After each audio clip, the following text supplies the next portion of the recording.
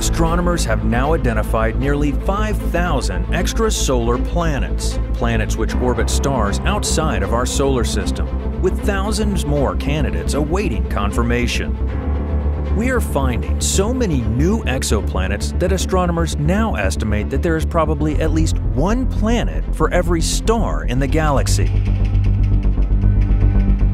Exoplanets may be fairly common in the universe, but astronomers recently found something in orbit around a distant star that is truly baffling. Whatever it is, this new extrasolar discovery has so far defied any explanation.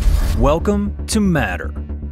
What exactly have astronomers found in orbit around this star? And is it actually evidence of an advanced alien civilization? Most of the time, finding exoplanets is a very slow, painstaking process. Astronomers will sift through countless gigabytes of data, measuring the observed luminosity of stars in the sky over time. If they're lucky, they'll see one of these stars suddenly drop in brightness and then go back to normal a short while later. This brief dip in luminosity is a hint that there is something else, like a planet that is blocking out some of the light from the star. This isn't always enough to confirm the existence of a planet, though. Sometimes the dip is too small to accurately see through the noise. Errors in the data, anomalous activity within the star itself, and a number of other factors can also lead to false positives and inaccurate detections. Because of this, astronomers usually like to wait for the planet candidate to complete at least one more orbit so that they have multiple transit events to work with. Observing multiple transits of the same planet increases the chances of actually confirming its existence.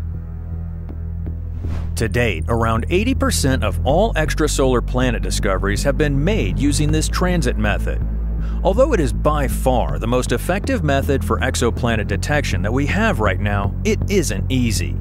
For most extrasolar transit events, the parent star is only observed to dim by a tiny fraction of a percent.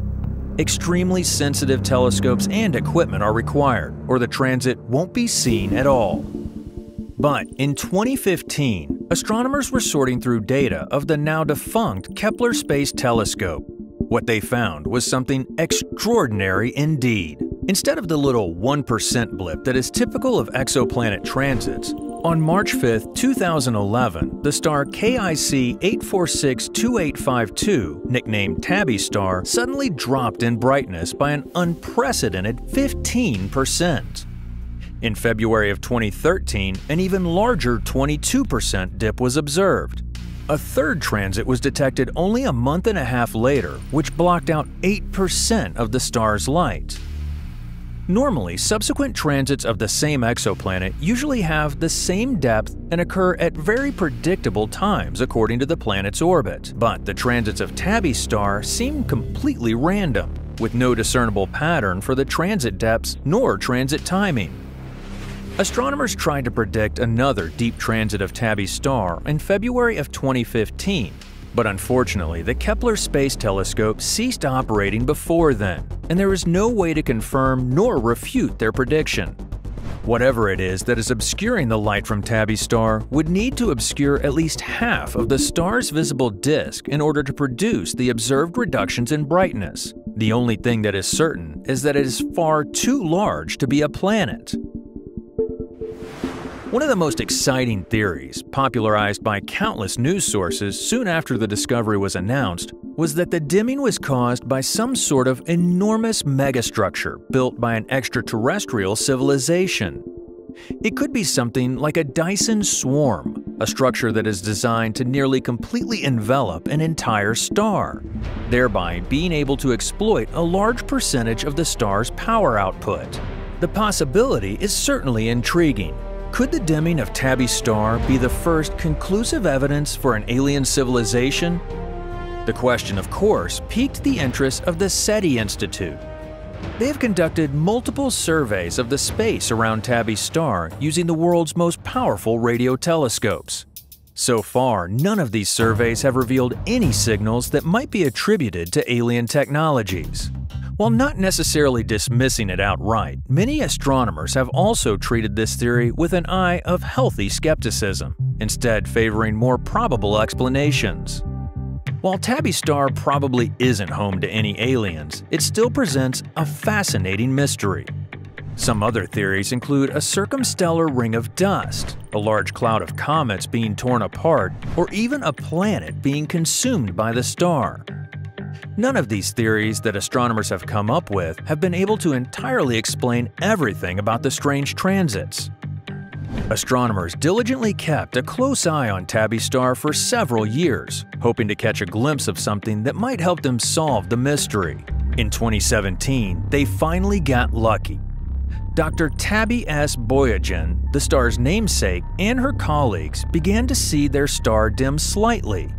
They quickly got the word out to their fellow astronomers around the world, and dozens of observatories were turned to watch the event. The transit lasted for around three days and showed a 2% fluctuation of the brightness of Tabby's star. Observations were made using wavelengths across the electromagnetic spectrum in an attempt to gather as much information as possible during the fortuitous event.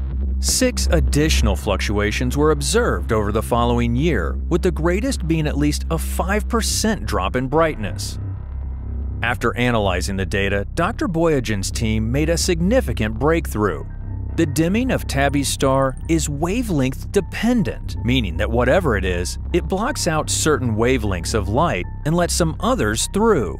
This does cast even more doubt on the idea that the transits could be caused by an alien structure. Dr. Boyajian said that if a solid opaque object like a megastructure was passing in front of the star, it would block out light equally at all colors. So it probably isn't aliens. Nobody is quite sure, but the transits from 2017 and 2018 provided some helpful insight. The fact that Tabby's star dims unequally across different wavelengths is consistent with space dust. Tiny dust particles, even smaller than the microscopic particles in cigarette smoke, might clump together in large clouds surrounding the star. These clouds would absorb some wavelengths of light while others were scattered through. However, that doesn't explain where all the dust came from. One additional theory is that the star is orbited by a gas giant planet with exceptionally large fluctuating rings. Another suggests that the planet could be followed in its orbit by a swarm of asteroids. Spectroscopic analysis of the star shows that there is no material close to the star and that all of the dust is very cold and very far away. This likely rules out the theory that the transits are caused by an exploding planet.